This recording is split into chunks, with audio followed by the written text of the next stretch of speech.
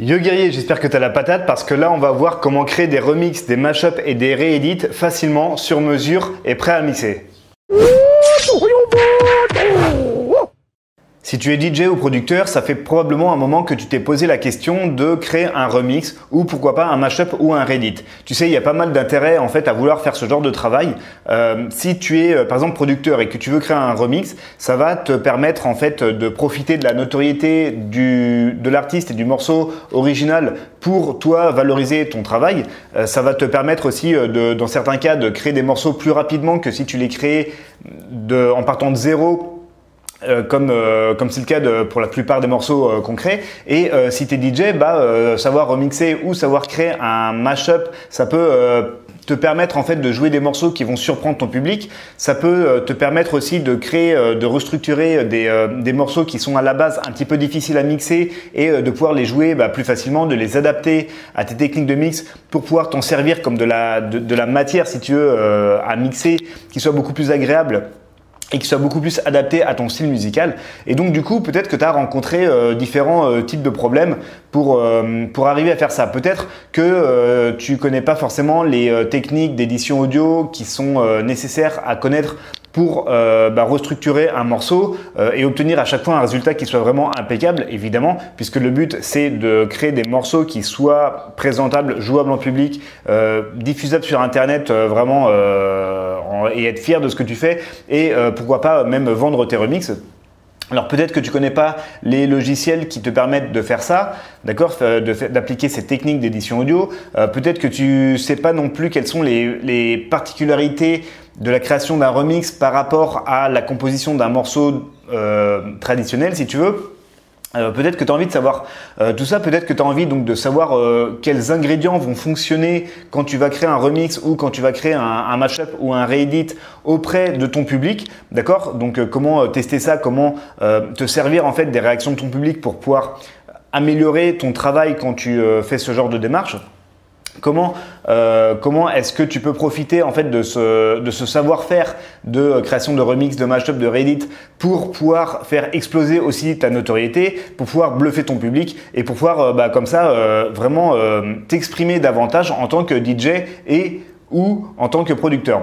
Donc là, le truc en fait, ce qu'il faut, c'est que ce qu'il faut savoir, c'est que avoir une idée pour euh, de, se dire tiens par exemple euh, j'ai entendu ce morceau je vais faire euh, tiens je vais ce serait pas mal de le remixer ou alors d'avoir un morceau dans ta collection et de se dire bah ce morceau tiens ce serait bien mais j'aimerais bien le, le, mixer sur platine mais ce serait bien par exemple de rallonger l'intro tu vois de, de rallonger une, une, intro percussive pour pouvoir le mixer plus facilement pour pouvoir le, caler en pré-écoute plus facilement ou rapidement et pour pouvoir avoir plus de temps euh, à le jouer. Euh, tu vois, voilà, avoir des idées, ça c'est facile, tout le monde peut en avoir. En fait, le, le, le problème, c'est pas d'avoir des idées, c'est de, euh, deux choses en fait. C'est de comment les mettre en œuvre. Donc là, c'est appliquer les bonnes techniques d'édition audio, les bonnes techniques euh, même qui vont plus loin que juste de l'édition audio dans, un, dans le cadre d'un remix. Et c'est aussi comment obtenir de la matière première qui soit impeccable. Donc de la matière première, c'est par exemple des acapellas D'accord euh, Ça peut être des versions instrumentales d'un morceau pour pouvoir te resservir uniquement de certaines euh, parties percussives par exemple. Et euh, bah, comment en fait avec cette matière qui soit impeccable et pour lesquelles tu n'as pas de soucis de droit d'auteur, que tu aies une qualité, une qualité studio, etc. Comment en fait une fois que tu as ce que j'appelle la matière première, comment en fait en faire quelque chose qui soit vraiment nickel, qui soit propre et qui soit mixable sable euh, en public. Donc là, en fait, euh, ce qu'il te, ce te faut, c'est une, euh, une méthode en fait qui te, qui te permette donc de, bah, de partir de là où tu en es aujourd'hui, que tu sois producteur ou que tu sois DJ, et qui te permette de maîtriser le processus de création de remix, de réédit ou de mashup, même si aujourd'hui tu es complètement débutant. Par exemple, si tu es DJ débutant totalement, que tu n'as jamais mis les mains dans un logiciel de studio virtuel par exemple, eh bien, euh, l'idée c'est que tu aies une, méthode qui te guide comme ça, étape par étape, pour pouvoir créer euh, ce que tu veux parmi euh, le choix en fait de remix, de réédit ou, ou de mashup. Donc là, j'ai préparé une formation qui est, faite exprès pour t'accompagner, donc pour te prendre par la main justement pour pouvoir bah, créer en fait ces trois choses en fait, donc réédit, mashup et et remix. D'accord Donc on va voir exactement tout ce que tu as besoin de savoir étape par étape. Et euh, encore une fois, c'est comme d'habitude expliquer même pour des gens qui sont complètement débutants. Et euh, on va voir, on va vraiment avancer ensemble. Alors euh, le truc c'est que avec, euh, avec cette formation. Donc là déjà, dans, euh, dans même pas 10 minutes, tu, euh, tu, sauras exactement les particularités, les différences entre un mashup, un remix et un Reddit au cas où ce sera un petit peu flou pour toi. Et puis on va voir un petit peu très rapidement comment, comment partir sur les bonnes bases. Et puis donc à la fin de cette formation, quand tu auras suivi donc, le module qui correspond à ce que tu veux faire là maintenant tout de suite. Par exemple, si tu veux faire un mashup, eh bien, euh, tu as un module dédié à la création de mashup. Eh bien, ton, ton mashup sera complètement terminé à la fin de la formation même avant la fin de la formation, je vais t'expliquer pourquoi juste après. Et, euh, quand je dis terminé, c'est qu'il sonnera en fait à un volume optimal, il, sera euh, nickel. Et donc il sera euh, bah, prêt en fait à être, tu pourras le mettre sur ta clé USB, boum, le mettre sur platine CD, le jouer en public. Et, le tester vraiment dans, la vie réelle si tu veux, ou pourquoi pas le diffuser sur internet, sur ton SoundCloud, sur ton Facebook, sur, YouTube, etc. Alors, quand je dis que ton morceau sera vraiment nickel, on va pas parler de mixage et de mastering, d'accord Parce que ce sont des thématiques qui sont trop avancées. Même si tu es producteur et que euh, c'est la partie remix qui t'intéresse, euh, tout ce qui est mastering, on le verra ça dans d'autres formations. C'est beaucoup trop poussé pour ce que je veux t'enseigner dans cette euh, formation-là aujourd'hui. mais pas de panique, on va voir comment, dans tous les cas, obtenir un un résultat qui soit propre et satisfaisant. Alors en fait l'idée de cette formation elle est vraiment conçue pour que euh, n'importe quel DJ ou producteur qui soit même complètement néophyte puisse donc créer euh, des remixes, des, mashups ou euh, des réédits facilement euh, bah parce qu'en fait, il suffit de suivre les étapes. Tu sais, moi, je fonctionne tout le temps avec des méthodes étape par étape. Vraiment, en fait, tu me suis à chaque, euh, à chaque fois que tu apprends quelque chose dans la formation, hop, tu mets sur pause, tu me suis en temps réel et donc petit à petit, tu crées comme ça ton morceau en même temps que je t'explique comment faire. Alors tu sais, pendant plus de 10 ans, je me suis vraiment focalisé, à part le DJing, à créer des morceaux à partir de zéro, c'est-à-dire à tout composer moi-même, à créer des instruments, à synthétiser, c'est vraiment un truc que j'adore. Et après, ce que j'ai voulu faire, c'est un petit peu euh, bah, euh, m'essayer à d'autres compétences, quoi, si tu veux. Et donc du coup, euh, je me suis mis donc à faire des remixes. Donc là, un des derniers que j'ai fait, c'était avec un morceau de métal. c'était Loki. Je sais pas si tu as qui c'est, c'est le chanteur euh, du groupe euh, Micropoint en fait, donc qui est composé de Radium et de Alcor. Donc si tu écoutes un peu de, hardcore, tu vois de, qui je veux parler. En fait, il m'avait contacté pour que je remixe donc un de ses morceaux de métal en fait, d'un groupe qui s'appelle Tricksterland. Sauf que moi je suis en hard tech euh, à 200 BPM, donc c'était quand même assez, assez un petit challenge si tu veux de passer du métal à 150 BPM à euh, mon style à moi. Mais euh, du coup ça a donné un résultat. Bah, moi j'en suis très euh, très content hein, d'ailleurs lui, lui aussi. Et donc ça je vais te montrer un exemple concret dans la formation bah, comment j'ai procédé vraiment pour, pour arriver à ce résultat là et pour ce qui est des réédits donc là c'était vers en 2014 donc là, j'ai eu un, j'ai fait ma première prestation en public, si tu veux, sur euh, sur euh, sur CD. En fait, c'était euh, bah, c'était au Zénith de Nancy, un de mes plus mes bookings les plus importants. Et là, je voulais vraiment préparer un set et une collection de morceaux aux petits oignons, un truc vraiment super chiadé, vraiment au top, tu vois. Et donc du coup, en fait, bon, bien sûr, il y avait mes, propres morceaux en fait dans mon set, mais il y avait aussi euh, des, des réédits, donc des, versions customisées, soit de mes morceaux, soit d'autres, euh, des morceaux d'autres artistes, d'accord, pour pouvoir faire un truc vraiment euh, au top, impeccable comme, comme je le voulais. Donc tout ça, je vais te montrer concrètement, je vais te, je vais, te détailler tout ça dans, le, dans la formation. Alors dans la formation, il y a beaucoup, beaucoup d'informations, il y a plein de, plein d'astuces, plein de trucs. Mais pas de panique. En fait, donc déjà tout ça c'est décomposé en six modules, mais en plus il y, a, un truc à comprendre, c'est que quel que soit ton projet, donc mashup, reedit ou remix, à chaque fois en fait il y a trois grandes phases communes qui reviennent. D'accord? Donc je vais te détailler les, les, spécificités si tu veux pour chacun de ces projets euh, bah, concrètement dans la, dans la formation. Mais en gros, la première euh, étape, si tu veux, c'est déjà de préparer le terrain, de préparer la matière première, de, de, connaître ton environnement de travail, etc. La deuxième euh, grande étape, c'est tout l'aspect réalisation technique et la partie créative pour créer ton, ton morceau donc jusqu'à l'export. Et ensuite, la troisième partie qu'il ne faut pas négliger, c'est euh, le test. Et euh, alors, je vais te montrer euh, quoi tester et comment le faire. mais l'idée, c'est de, tester auprès de ton public, par exemple, soit en jouant ton morceau en public, soit en le diffusant sur Internet pour avoir l'avis un peu d'autres artistes et, du public en temps réel, si tu veux, pour savoir ce qui a fonctionné et ce qui n'a pas fonctionné dans tes projets pour que tu puisses euh, bah, soit les corriger, soit faire mieux la prochaine fois. Donc euh, voilà, donc euh, je pourrais t'en parler encore pendant pas mal de temps. Donc si ça t'intéresse de me suivre sur cette formation, tu as le lien en dessous de la vidéo dans la description. Et donc tu vas voir en fait comment, comment récupérer cette, cette formation tout de suite. Alors cette formation, euh, elle, euh, euh, te fait économiser pas mal d'argent par rapport à si tu voulais apprendre tout ça, tout ce qu'il y a à voir là-dedans, parce qu'il y a quand même, je crois au total, il y a 47 vidéos, donc quand je dis qu'il y a du contenu, c'est qu'il y a du contenu. ça te fait économiser par rapport si tu voulais apprendre tout ça avec, par exemple, un prof à domicile qui est généralement à 25 euros de l'heure et qui il faut s'y connaître aussi en DJing et en production musicale, puisqu'il y a des, techniques en fait, qui, qui, se recoupent en fait, entre ces deux disciplines. D'accord et, euh, et, ça va te faire économiser du temps par rapport à si tu voulais euh, rechercher tout ça, en fait, toute, cette expérience euh, sur Internet, sur des forums, etc.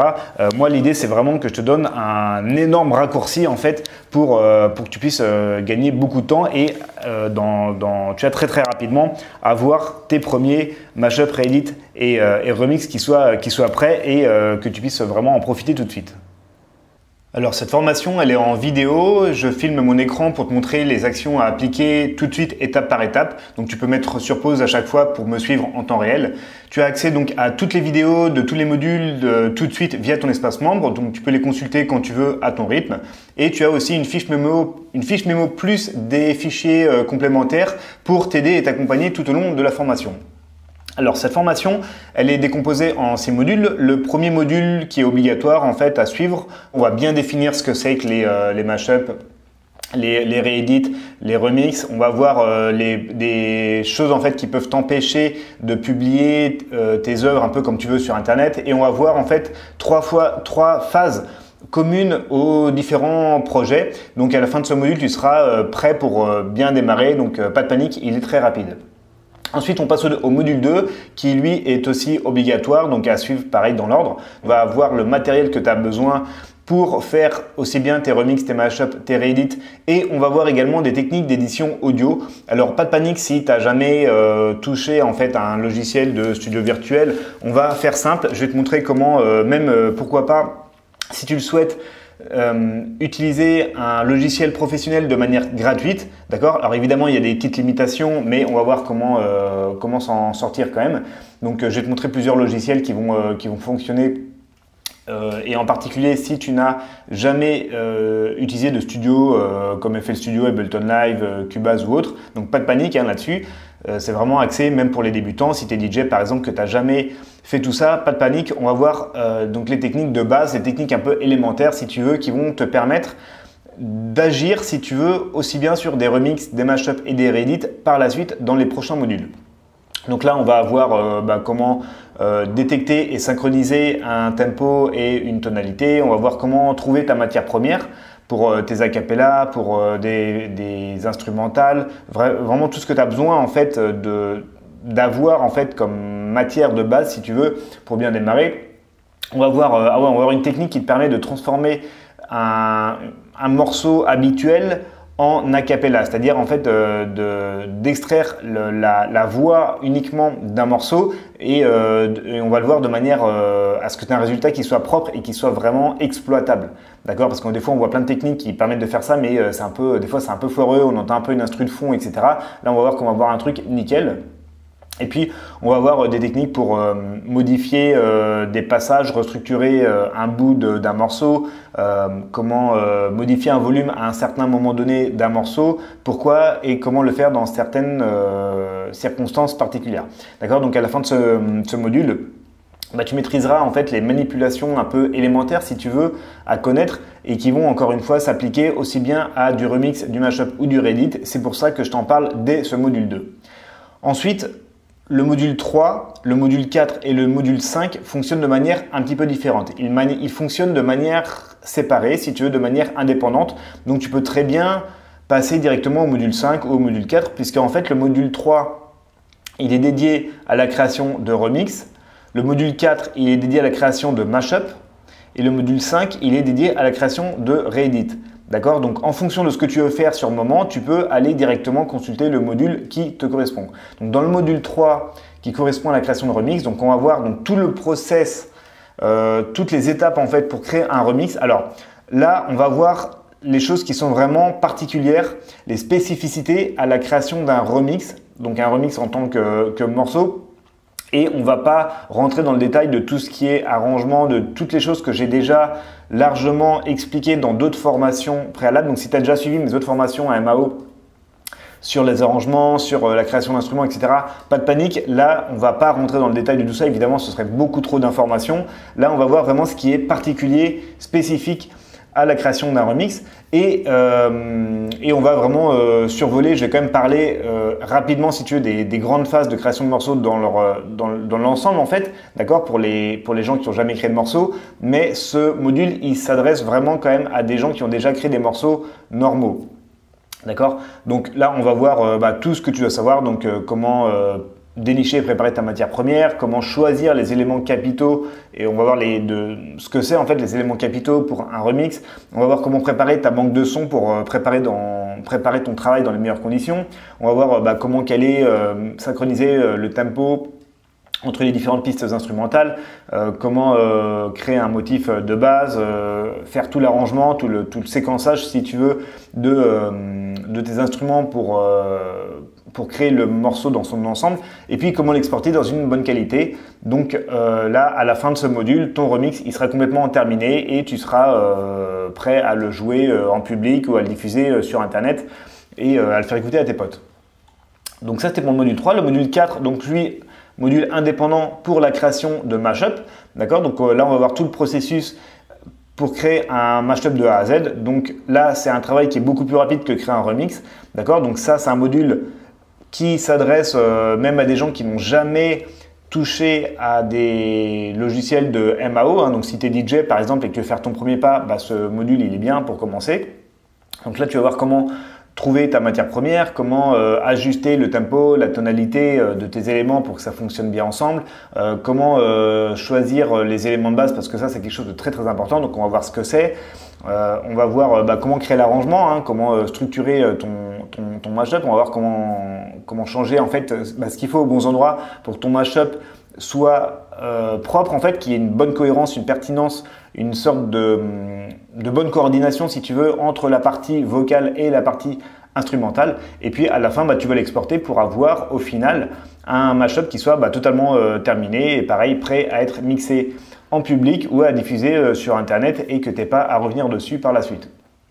Donc ça c'était pour le module 4. On passe ensuite au module 5 qui est donc lui aussi encore une fois un module indépendant. Donc là c'est la création de Reedit.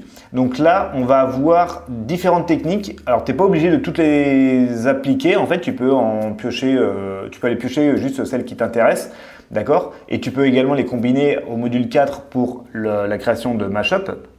Donc là on va avoir des techniques, des idées, on va avoir des astuces pour customiser une track sur mesure euh, pour que tu puisses la mixer par exemple beaucoup plus facilement pour euh, aussi surprendre ton public. Alors ça c'est super important et ça va être super puissant et en même temps c'est pas si compliqué que ça à créer. D'ailleurs si tu es DJ euh, même débutant et que tu n'as jamais touché un logiciel de MAO, c'est ce module il est fait pour toi pour pour que tu puisses faire tes premiers pas vraiment facilement avec des techniques qui sont, qui sont simples et qui sont rapides à effectuer. C'est pas, il n'y en a pas 36 000. Euh, D'ailleurs, c'est ce module que je te conseille d'attaquer en tout premier si vraiment tu es, débutant ou que, les autres modules te font un peu peur. Bah, je te recommande vraiment de commencer par le, ce module 5 sur les Reddit et ensuite de faire le module 4 sur les mashups. Et puis plus tard, quand tu auras un peu plus d'expérience et que tu veux progresser vraiment en production musicale de manière un peu plus sérieuse, entre guillemets, tu pourras t'attaquer au module 3 sur les remixes. Donc là, dans ce module 5 sur les réédits, on va voir comment euh, faire un, ce que j'appelle un bond de tempo.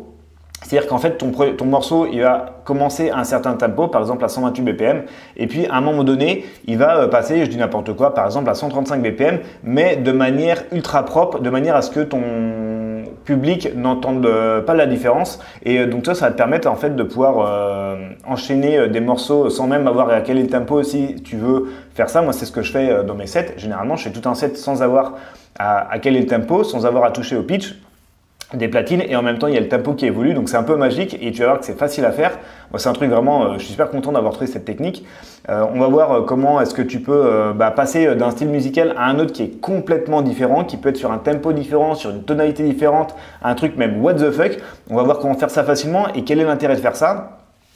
Et je te, mets, je te mets même des exemples concrets à l'appui, hein, à, l'appui, donc tu vas voir vraiment que, ça peut vraiment faire un putain d'effet sur le public. Euh, donc on va voir comment restructurer un morceau, comment créer une version extended euh, par rapport à une version euh, radio edit. On va voir comment booster des percussions aussi. Si tu veux que ton morceau devienne un peu plus agressif ou qu'il ait un peu plus de présence dans certains types de percussions, alors toujours en ayant un résultat propre à la fin, il hein, ne faut pas faire n'importe quoi. On va, on va voir aussi comment ajouter des effets, lesquels, pourquoi, à quel moment. D'accord? Et euh, donc à la fin de ce module, bah, euh, tu, auras un réédit qui sera euh, terminé, qui sera prêt à être joué, il sera exporté à un bon volume, il sera, prêt à être, utilisable en public et pour bluffer tes auditeurs. Donc voilà, pour là les modules vraiment cruciaux si tu veux. Et puis en bonus, je t'ai ajouté un module 6 qui va te permettre d'aller un peu plus loin, donc sur le long terme. Donc lui, je te recommande de ne pas le regarder tout de suite. C'est vraiment fait tes premiers remixes, mashup ou réédit dans un premier temps. Et plus tard, tu pourras aller sur le module 6. Là, c'est des petits trucs que je voulais te partager en plus. Des idées, des astuces, euh, des petites techniques. Pour aller plus loin, euh, on va parler de collaboration euh, et le rapport en fait avec les, les remixes, par exemple. collaboration avec deux artistes. On va voir comment avoir un impact maximal sur tes auditeurs quand tu fais des remixes ou d'autres types, de manips comme des réédits comment créer des jingles, comment euh, euh, faire du remix en live aussi avec des launchpads, avec on va parler de finger drumming.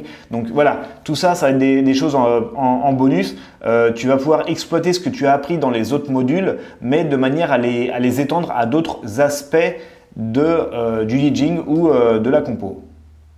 Donc voilà pour la présentation de cette formation. Donc maintenant, tu as un choix à faire. Soit tu continues à faire comme tu as fait jusqu'à maintenant. Peut-être que tu galères à rechercher des informations sur Internet, sur des petites vidéos YouTube, sur des forums, et puis euh, bah, agréger en fait toutes ces informations, savoir les traiter et en faire quelque chose. Bah, euh, moi, je sais que ça prend du temps parce que je suis passé par là et que c'est pas forcément la, manière optimale d'apprendre. Soit tu décides de, me suivre, d'appliquer en fait la formation. Alors, faut vraiment l'appliquer. Par contre, évidemment, il suffit pas juste de la, suivre et de, et de rien faire. Ça va pas tomber du ciel. Mais en l'appliquant, je te garantis des résultats rapides. Et, euh, et donc, du coup, comme ça, très rapidement, tu vas avoir ton mashup, ton, euh, Reddit ou ton remix qui sera prêt et qui sera terminé, prêt, euh, prêt à être mixé. Donc euh, voilà, donc tu as le lien sous la vidéo dans la description pour la commander. Alors ce qui va se passer, c'est que tu as juste à rentrer donc ton email, ton prénom, tes informations, tu sais, de commande de manière habituelle. Et ensuite, tu vas tout de suite recevoir un mail avec ton accès à l'espace membre. Donc dans l'espace membre, tu vas avoir accès tout de suite à l'intégralité des vidéos de tous les modules. Et donc, euh, comme ça, tout de suite, tu vas pouvoir attaquer directement le module qui te concerne, soit Reddit, soit Mashup, soit Remix, et, euh, et tu vas pouvoir, euh, comme ça, avancer rapidement. Alors, euh, peut-être que tu te dis que la formation, elle coûte trop cher, euh, que ça vaut pas forcément le coup. Euh, ok, c'est un investissement, tu vois, qui te permet donc d'accélérer ton apprentissage. Maintenant, il faut savoir un truc aussi, c'est que dans certains cas, notamment pour les remix, tu vas pouvoir les revendre en fait plus tard. Moi, c'est ce que j'ai fait. J'en ai plusieurs qui sont sur, qui sont en vente sur Beatport. D'ailleurs, je te montre ça concrètement dans, dans la formation. Et donc du coup, euh, bah, ces remixes, en fait, ils vont pouvoir te ramener des revenus passifs aussi sur le long terme. Donc ça va pouvoir te, comme ça te, te, te, faire un peu un retour sur investissement en quelque sorte et te rembourser à terme comme ça la formation. Après, un autre truc à savoir, c'est que, encore une fois, si tu es complètement débutant, aussi bien en production musicale qu'en DJing, pas de panique, tout est fait pour, euh, pour que je te prenne vraiment par la main et que... tu sois jamais perdu, d'accord? De toute façon, moi je reste joignable par mail. Si tu as un problème, tu peux me contacter à tout moment. Mais euh, voilà, je te montre des logiciels. Alors, des fois, on va avoir des logiciels qui sont, qui sont complets, qui sont professionnels, mais je te montre uniquement les fonctionnalités que tu as besoin de connaître, histoire que tu ne sois pas perdu dans la masse de fonctionnalités euh, inutiles. D'accord? Bon, Donc on va voir exactement ce que tu as besoin de savoir pour passer du point A où euh, tu débutes totalement au point B où ton morceau est terminé. Mais de manière accessoire, complémentaire si tu veux, je vais te parler aussi d'autres logiciels qui sont spécifiquement faits pour le plus des débutants, en fait, des gens qui n'ont pas forcément envie de se mettre dans des gros logiciels de, de studio virtuel. D'accord? Donc des, logiciels qui sont plus par exemple pour des DJ qui ne veulent pas se mettre à la MAO euh, de manière poussée. Donc euh, on va voir euh, tout ça. Donc voilà, bah écoute, si ça te dit, bon, on se retrouve tout de suite dans, le, dans cette formation. Donc là on commence sur le premier module, on va voir un peu les, préliminaires pour, pour, se mettre un peu en jambes.